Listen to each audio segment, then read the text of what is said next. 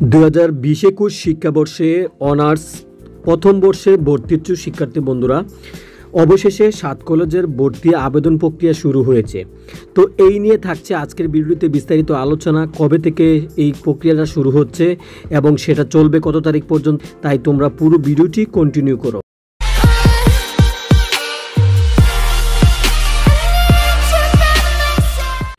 ঢাকা বিশ্ববিদ্যালয়ের ডাবি অধিভুক্ত সরকারি সাত কলেজের ভর্তি আবেদন আগামী দশ জুলাই শুরু হবে।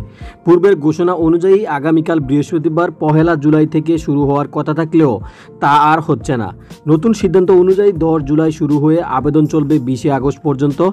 বুধবার তিরিশ জুন ঢাকা বিশ্ববিদ্যালয়ের উপ উপাচার্য শিক্ষা ও সাত কলেজের প্রধান সমন্বয়ক অধ্যাপক doctor A M M Maksud Kamal এইসব তথ্য জানিয়েছেন। তিনি বলেন, অধিভুক্ত সরকারি ষাটটি কলেজের দুই হাজার বিশ একুশ শিক্ষাবর্ষের অনলাইন ভর্তি আবেদন কার্যক্রম আগামীকাল বৃহস্পতিবার থেকে শুরু হচ্ছে না।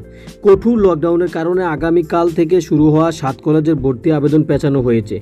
ভর্তি আবেদন শুরু নতুন তারিখ জানিয়ে তিনি বলেন, আগামী দশ জুলাই থেকে শুরু হয়ে বিশ আগস্ট পর্যন্ত অধিভুক্ত সরকারি সাত কলেজে ভর্তি আবেদন চলবে। এর আগে কর্তৃপক্ষের সিদ্ধান্ত অনুযায়ী ঢাকা বিশ্ববিদ্যালয়ের অধিভুক্ত সরকারি সাত কলেজের স্নাতক দুই হাজার বিশ একুশ প্রথম বর্ষের ভর্তির আবেদন প্রক্রিয়া আগামী পহেলা জুলাই থেকে শুরু হওয়ার কথা ছিল।